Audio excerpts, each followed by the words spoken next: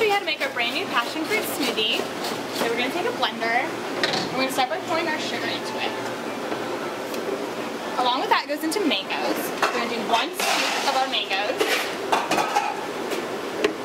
Try to get a really good scoop. And then we do one half of banana. One scoop of pineapple.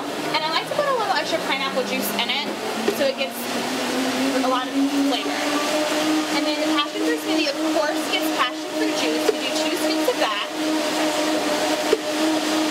make everything blend, we pour a couple pumps of water into it.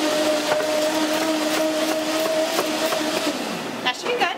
So we're gonna go ahead and put ice into our smoothie. Two even scoops. This creates the perfect blend.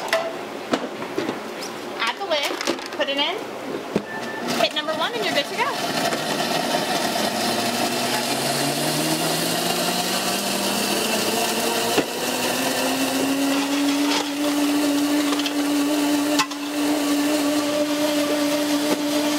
You get a nice, even, perfect pour. Fill it pretty full to the top.